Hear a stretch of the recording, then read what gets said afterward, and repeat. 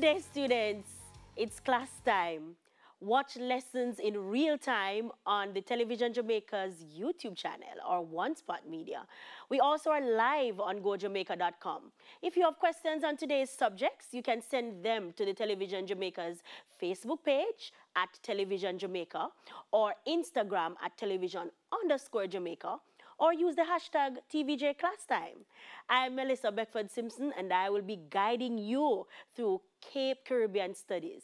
This week, we are going to be looking at the Caribbean historical processes. So here we are again. I'd like to begin today's lesson by reading an excerpt for you.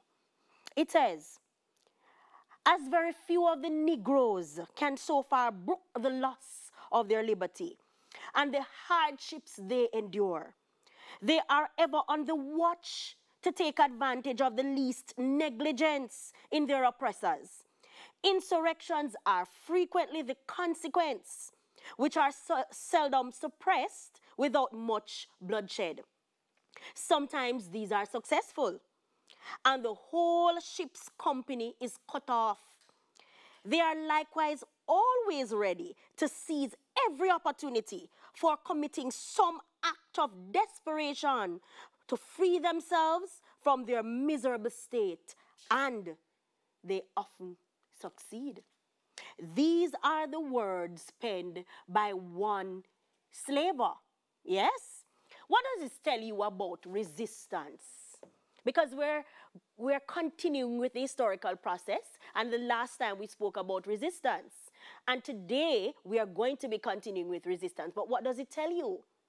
Here's what it tells me it tells me that from the very moment that Africans were captured, they began to resist. And they resisted on board the ships as well. So they would jump overboard. And there was one particular instance when they were successful in taking over the entire ship.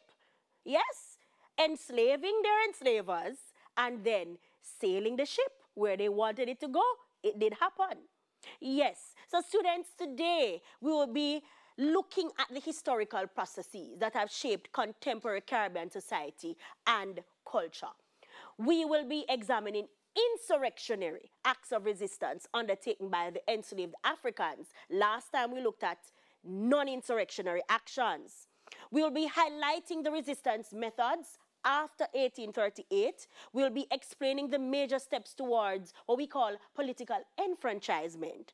And we'll be also determining the extent to which these resistance methods have been important, an important feature in the development of the Caribbean. So let's get right into it. Now, if you recall, last time we defined insurrectionary.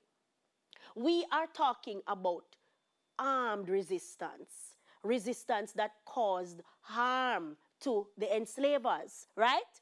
Now, these were usually planned, yes, usually well planned, as opposed to non insurrectionary. Sometimes the non insurrectionary ones were just spur of the moment. All right, so nobody was looking, and they just do something to the machine to make it stop working. Yes, so it wasn't always planned, but these were usually planned. It was commonly done in groups, commonly, and the intent of it was usually to topple the entire system of enslavement. That was what they usually wanted under um, insurrectionary. So what are these examples we're talking about now? Marronage, ever heard of that? Yes. Rebellions, poisoning of whites, burning of cane fields, and we are going to examine today the Haitian Revolution. I know you're there saying, so oh, this a teacher love Haiti, so Everything should come with Haiti because it was very important what Haiti was able to achieve in 1791. All right, so let's start with the rebellions. When we talk about rebellions, we're talking about armed resistance of the enslaved people against their masters. All right? Now, historians like Beckles and Shepherd have said that rebellions were very common. In fact, rebellions were a day to day matter across the British West Indies and across the West Indies in general. But somewhere towards the late 1700s, going into the 1800s, there was a there were a number of rebellions, right? So there was an increase in the number of rebellions that we saw, all right? It was common, as I said, throughout all the territories, and there usually was a strong leader or two that was involved. Somebody who was the head cook and buckle washer, as we call it in Jamaica, for this rebellion. Somebody who was usually um, in a privileged position sometimes and was able to do what was necessary to plan this rebellion. Somebody who commanded the respect of the rest of the enslaved people. It was usually planned for months.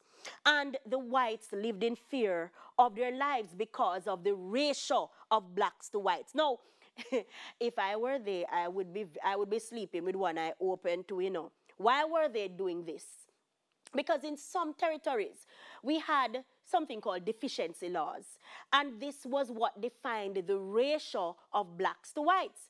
But the deficiency laws were not always abided by because it meant that the planters needed to, to pay more white persons to keep the ratio going. So, in some cases, the deficiency law said that there needed to be uh, maybe one white person to every five, to every six but in some cases, you had one white person to 25 Africans. No, wouldn't you sleep with one eye open if it was you? Yes. And I know you're asking, so if this was the case, why is it that the system lasted for so long and that the enslaved people did not just fight their way through and just, you know, throw off the system? It wasn't as simple as that because there was, in fact, strong control of the enslaved people throughout the West Indies. And this made it a little bit difficult. Not that they did not try. As I said, there was a rebellion almost daily, especially towards the end. So, what are these rebellions we're talking about? You may have heard of some of them. The Tacky Rebellion, of, of 1760 took place in my parish, man, St. Mary, on the Esher plantation. And this Tacky, he was very strategic. You know, he was there planning and planning for some time, and he was able to move in secret from plantation to plantation, organizing the enslaved people. And he nearly succeeded too, you know my, my, my grandma would have said nearly more succeed. Yes, man, because the, such was the planning. But then again, of course, the enslaved, the white people had more weaponry, stronger weaponry. So what they did was they stormed the fort and they took out some, some guns and ammunition and they went on a rampage because their aim was to topple the system of enslavement. Then we have the Berbice Rebellion. No, this one you know, some people find this one to be very funny because the Berbice Rebellion was actually very successful for almost an entire year. They were able to box the whites in. They were so afraid of their lives. And they basically took over the entire area of Berbice, which is now a part of Guyana. And they were able to live in freedom for just about a year. What do you think caused the failure of this one now eventually? what usually causes it. Tell me what usually causes anything that is good to stop. Infighting, jealousy, we say bad mind in a Jamaica. And so there was a little bit of that. There was a little bit of rivalry between two different factions and two different leaders. And so that was the end of that. They were, because of the infighting, they were not focused to sustain, and the whites were able to call in troops, and that was the end of that rebellion.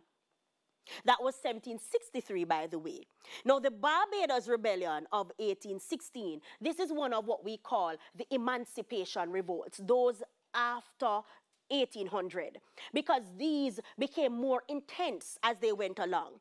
All right? The Bussa Rebellion, also called the Bussa Rebellion. And this one was kind of a knee jerk reaction to the slave registration bill but the, the, the, enslaved people knew that something was wrong, you know, but they could not tell exactly. That was also the case with the Demerara Rebellion of 1823. It was a knee jerk reaction to the amelioration proposals that were put forward by the British government to improve the system. The planters refused to implement these proposals. The enslaved people pick up, say something, no right Because there were some of them who could read and, and, and they, they, they rebelled. The Christmas rebellion also there was a, there was a lot of talk because by this time emancipation was well underway. It was it, there, there, was a lot of talk in Britain, a lot of writing in the newspapers, and a lot of, lot of this was coming down to the colonies. And so the enslaved people who worked in the great house, you know, they were they always behave as if them fool fool. Yes, but you ever hear the saying, play a fool for catch wise? That's what they were doing. So while they were serving in the, the, their, their, their enslavers, they were there listening to the conversation. They were there listening to the news that was coming from one plantation to the other, right? And so they knew that something was up, something was going on.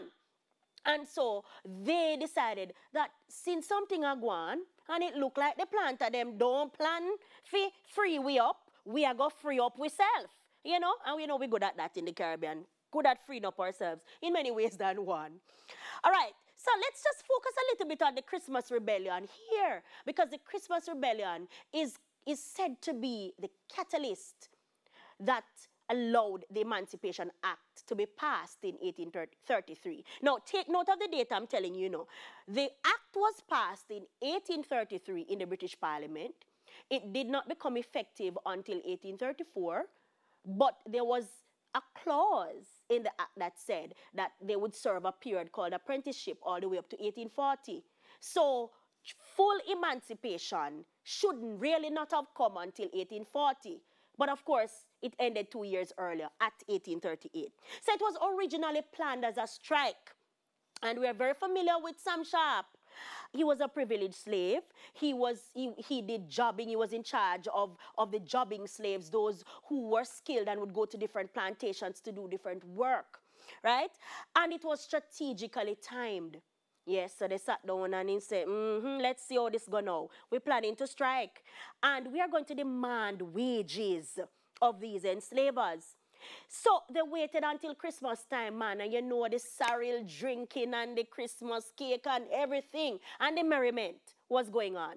But little did the planters know, you know, that the enslaved people were planning something, and they were there planning. They planned that after the Christmas holidays, they were not going to go back to work. They were going to tell their enslavers that we are not going to work until we are paid. We want to be wage earners. Very ambitious, don't you think? But that is precisely what they plan to do.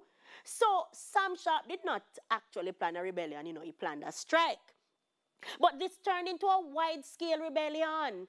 After, on the Kensington plantation in St. James, something went awry on the morning when this was to be enacted. Something went awry, right? And the plantation, the, the, the, the enslaved on the plantation started to burn the cane fields, and that was the end of that. Before we knew it, the entire Western Jamaica was burning down. So you had parishes, St. James, um, Trelawny, all of these parishes in the West. So we also call it the Western Liberation Uprising. It's also called Sam Sharpe Rebellion. It's also called the Baptist War because it is said that the Baptist Church was instrumental in this rebellion because Sam Sharpe was in fact from the Baptist church. Right? So here we have, or um, we're able to see these pictures of how rebellions took place, you know, with all of the burning down of the cane fields and, and all of these things. All right, let's zero in just a little bit before we go to break on Sam Sharpe. All right, as we said, he was privileged, he was skilled. He owned his own home of the plantation. That is how much his master trusted him. He could also read, he was literate. And so he could read the newspapers. Sometimes the, the news was very old and stale.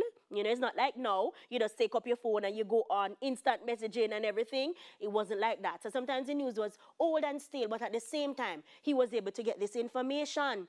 And he was the one who spread the information at the Sunday markets. When they go to market, you would spread the information, talk to different persons, and then you would get all of these different people, you know, to come on board. Now, we're going to pause right here. We're going to take a quick break, and we soon come back to talk some more about the historical process. Stay with us. It's here Interactive classes for all ages on the School Time channel on OneSpotMedia.com. with a combination of live Zoom classes and recorded class time, schools not out lessons, and numerous educational content. We've created a comprehensive 24 hour channel dedicated exclusively to educating our nation's youth early childhood through to primary, secondary, and tertiary, it's one stop on one spot for education 24 hours. Brought to you by the Ministry of Education, Youth and Information in association with Television Jamaica Limited.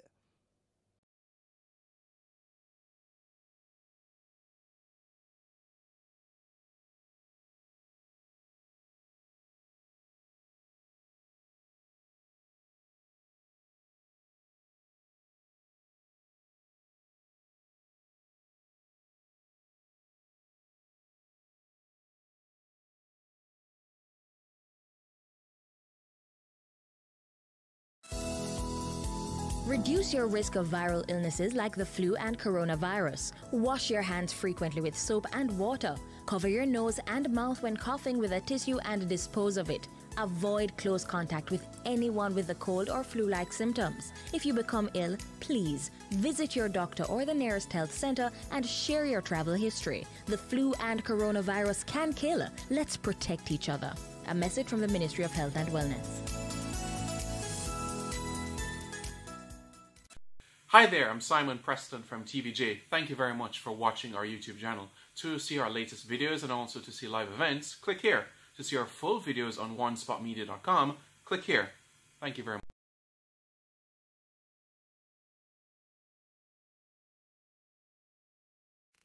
It's here.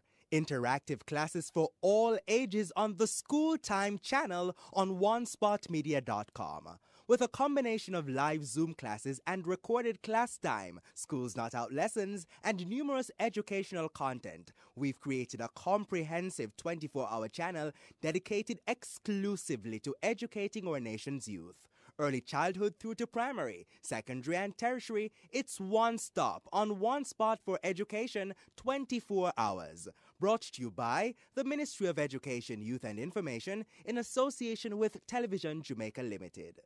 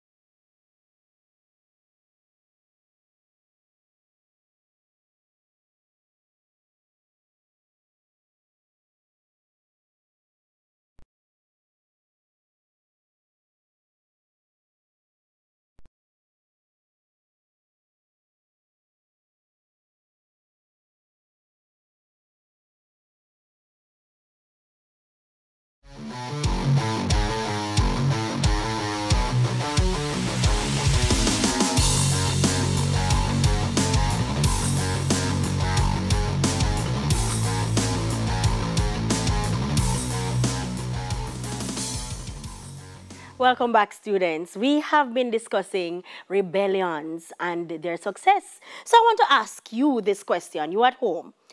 Why were rebellions not as successful? What's your take on that?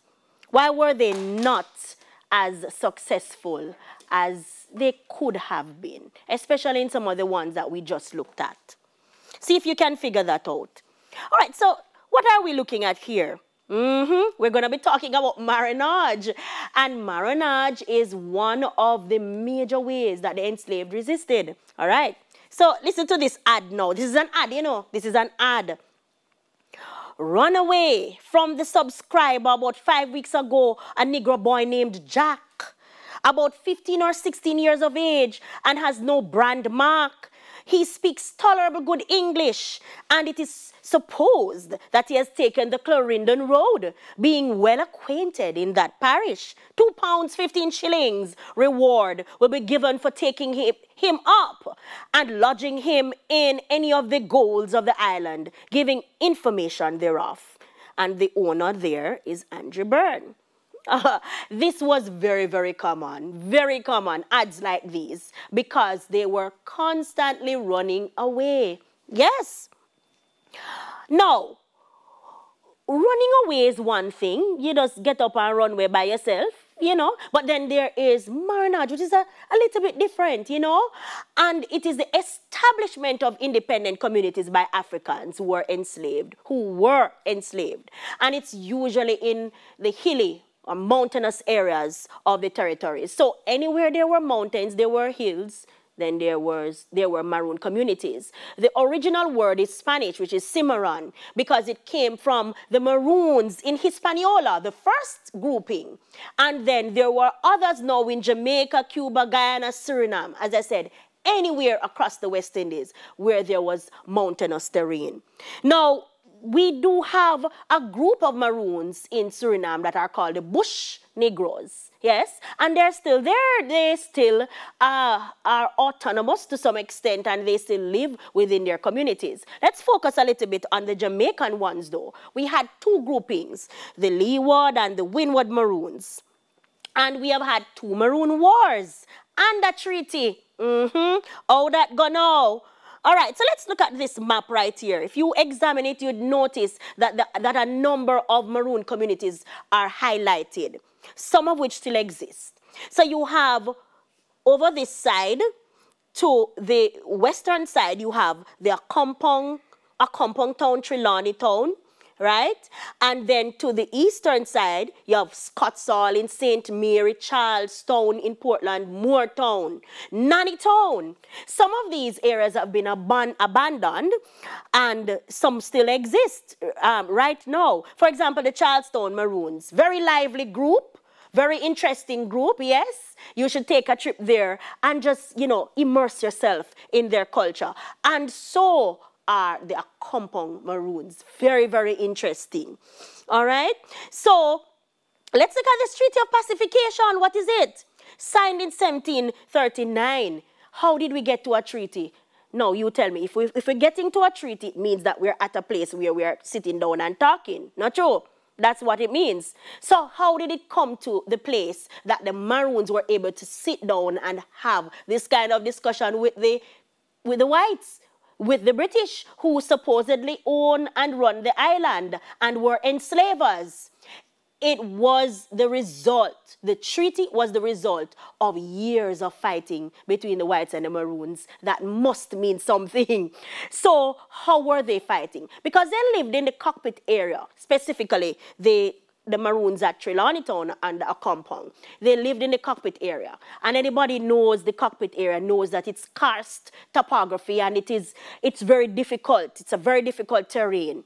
And so the Maroons were able to use the terrain as a cover you know, using guerrilla war, warfare and ambushing tactics. So the, the whites would be coming up, man, and they would see the bush moving. And every time they look, the bush stop move. And then the, the bush is moving. and they are wondering how this is happening. Yes, so they used all of these tactics and they had very good leaders as well in the form of Cudjoe, Nanny, and so on. So the treaty.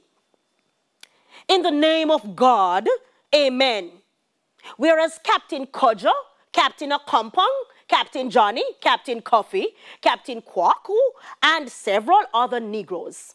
Their dependents and adherents have been in a state of war and hostility for several years past against our sovereign Lord the King and the inhabitants of this island. First, that all hostilities shall cease on both sides forever. Secondly, that the said Captain Cudjoe the rest of his captains, adherents, and men shall forever hereafter in a perfect state of freedom and liberty. And it goes on to tell you that they were granted 600 hectares of land in the same cockpit area and that they were supposed to be free, you know, provided that they did some things for the, for the British, of course. So we don't want to go too much into that now. Now, there were some fierce maroon leaders and fierce leaders overall, and history is sometimes not very kind to the women. But we know of Nanny of the Maroons, those some of the information that we do know is a little bit mythical, of course, you know, some of those things could not really happen. And then we have Nanny Grigg of Barbados, who was also a fierce female leader during enslavement, all right? And so you had females coming up. And it is even said by some historians that females had more opportunity and carried out resistance tactics and they were also leaders in their own right. So it wasn't just men alone. All right, so here we have some pictures of maroon communities. And this is the Peace Cave, and this was where the treaty was said to be signed between Captain Cudjoe and the captain of the British Army in Jamaica. The abeng here is used, very important symbol. They use it to call and to give information to the community. And there's, there's a special way to blow it and so on. All right?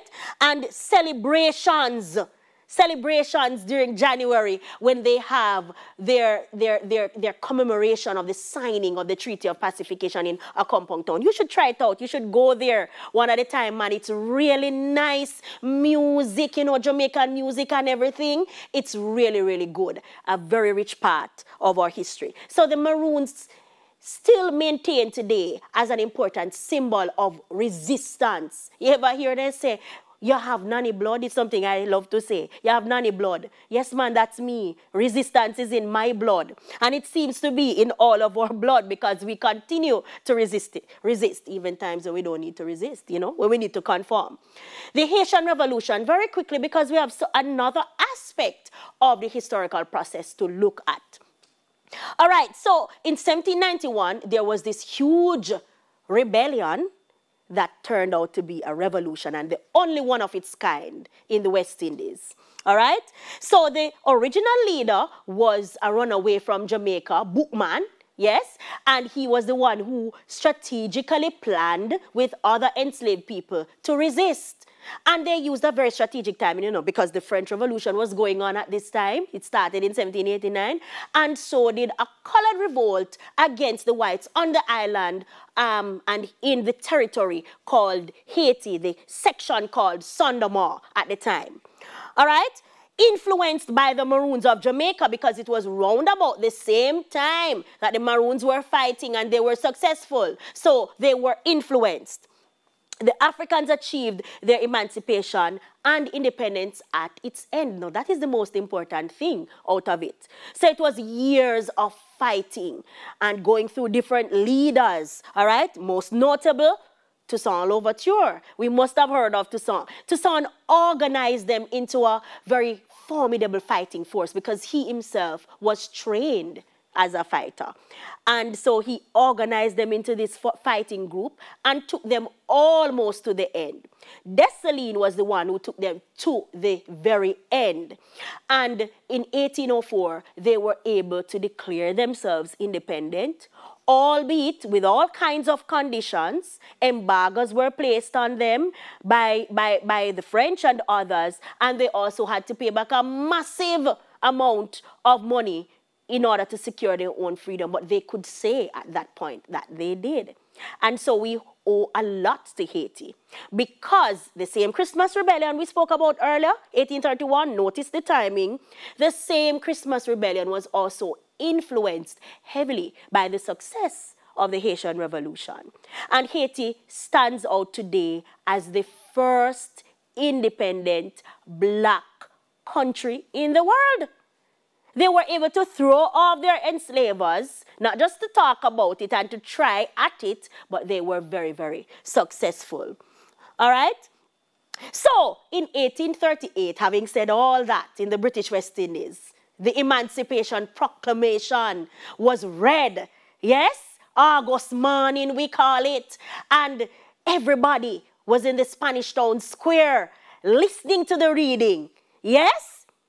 be it enacted that all and every one of the persons who on the first day of August 1834 shall be holden in slavery within such British colony as aforesaid shall upon and from and after the said first day of August 1834 become and be to all intents and purposes free and discharged from all manner of slavery, and shall be absolutely and forever manumitted. Yes, these were the words that were read.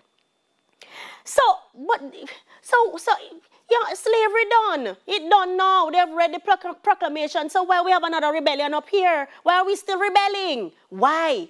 Because when slavery ended, it did not mean that everything was well, that all their conditions and grievances and that they were put up in big houses and they were all given land and they were all fine. It didn't mean that. It was far from the truth. They were just given the free papers and say, go, be free. You know, as if we can eat freedom. Go, be free. So it was led by Paul Bogle in 1865 because the conditions were not changed, right? We know the end of the Morant Bay Rebellion. Big march to Spanish to Spanish Town. The governor never, governor never listened to them. They march go back to St. Thomas. And there they stormed the vestry meeting and it turned out to be a rebellion. So the, the governor used strong measures after that, using some of the same maroons too, yes, called out martial law, end result of which over 500 people were just rounded up and were hanged and thrown in a mass grave at the back of the courthouse. The courthouse was burnt down, by the way, in the entire melee. And so what we have was a change from the old representative system to crown colony government. Two of our national heroes died there, even though George William Gordon was actually not responsible. And so when we say heritage time in October, this is precisely what we celebrate. All right. So we go to the road to political enfranchisement now, and there's something I want you to listen to. I want you to pay close attention to it. So let me have you stand at attention now in your living rooms as we watch and listen.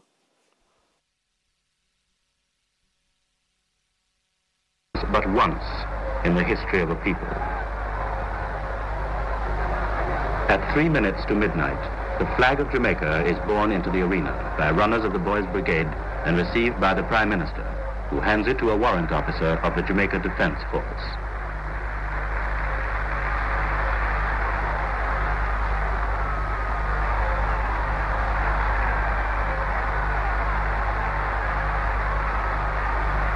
His Excellency the Governor and the Prime Minister take up their positions facing the royal box.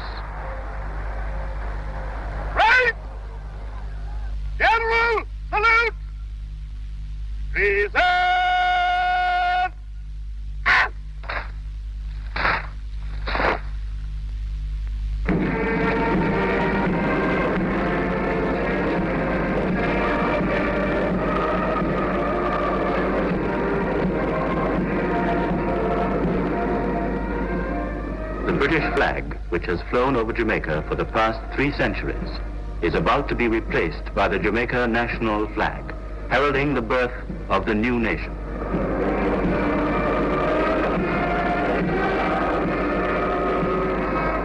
The lights go out. The Union Jack is lowered and the new flag of Jamaica raised.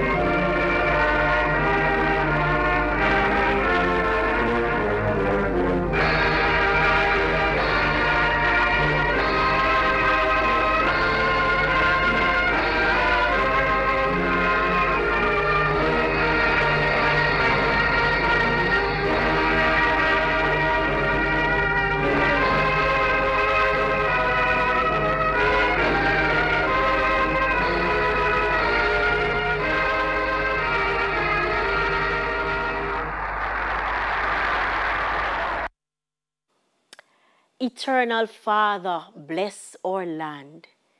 Teach us true respect for all. What a beautiful way to start a new nation. I just love the words of the national anthem, don't you? I think it is absolutely one of the best written anthems in the entire world. Yes, yes, I'm patriotic like that to the anthem. I think it's beautiful. But how did we get there? That is all of 1962 before that was done. So how did we get there?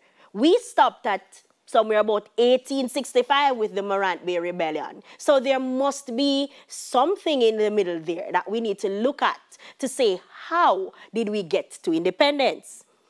So we fast forward from 1865 to the 1930s across the Caribbean. And we look at the same issues coming back 100 years after emancipation, the same issues remained. The same economic and social conditions, the same little huts that they lived in on the plantations were almost what they were still living in. Yes, they were still fighting to find employment. There was still no proper education system in place for the former enslaved peoples. Yes? And so even the working conditions that they were under remained almost the same 100 years after.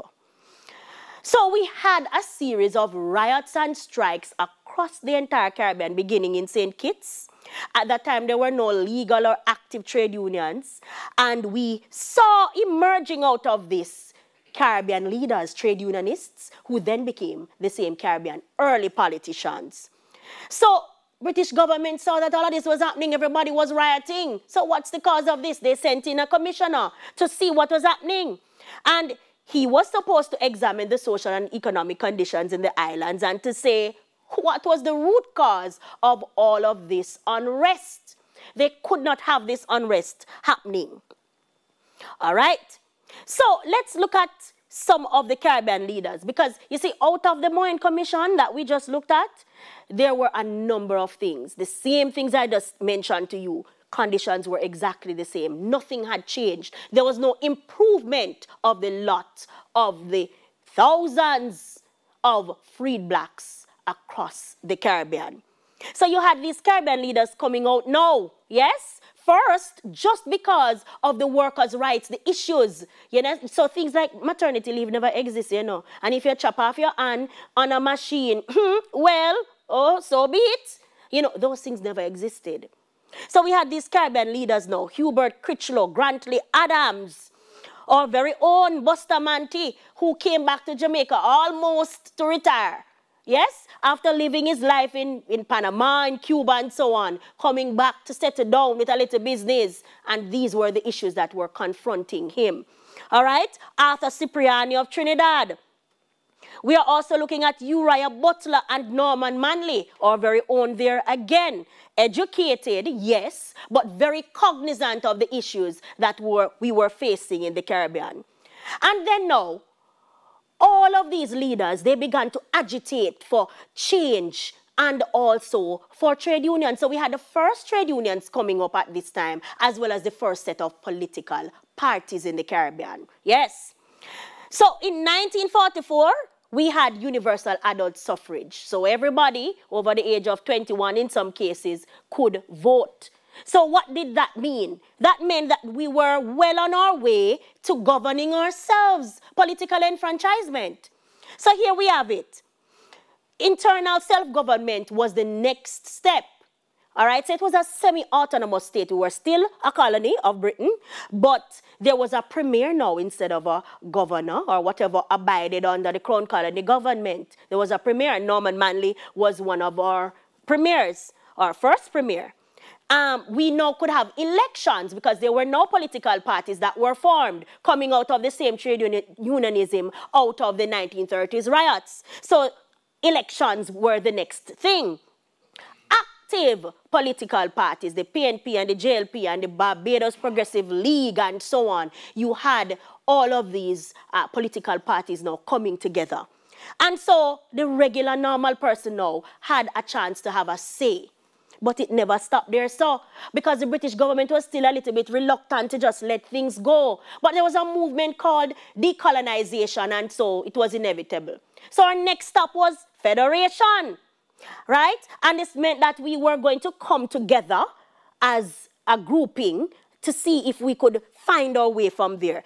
10 Caribbean territories signed this agreement, and this federation lasted, hmm, you guess how long it lasted? It failed, obviously, because inadequate financing.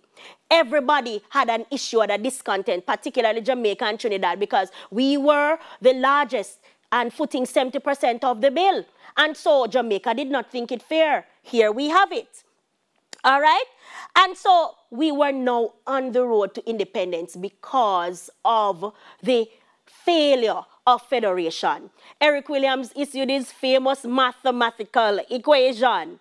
1 from 10 equals naught because Jamaica opted out. With the prompting of Alexander Bustamante, who was, who was the opposition leader at the time, Jamaica had what we call a referendum. And the question was, should we stay in the federation? It not benefit we. It is benefiting the others more than it's benefiting us. And so we decided, yes, we should leave. And we left the federation. Trinidad left after that. And that was the story. That is the full story of it. So we went into independence in 1962 for Jamaica and Trinidad, and the other Caribbean countries followed suit after that. So essentially, then, this is the road to our historical, this is our entire historical process summed up in a very, very small time. Next time on class time, we're going to be looking at uh, Caribbean society and culture and make sure that you are here listening for Caribbean studies. So that's it for Caribbean studies for today. Up next, we have CSEC Agricultural Science. Stay with us and see you next time.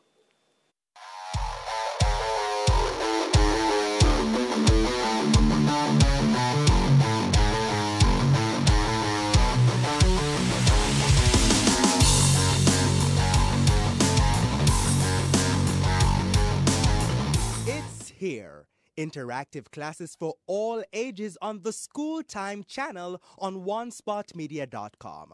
With a combination of live Zoom classes and recorded class time, Schools Not Out lessons, and numerous educational content, we've created a comprehensive 24 hour channel dedicated exclusively to educating our nation's youth early childhood through to primary, secondary, and tertiary, it's one stop on one spot for education 24 hours.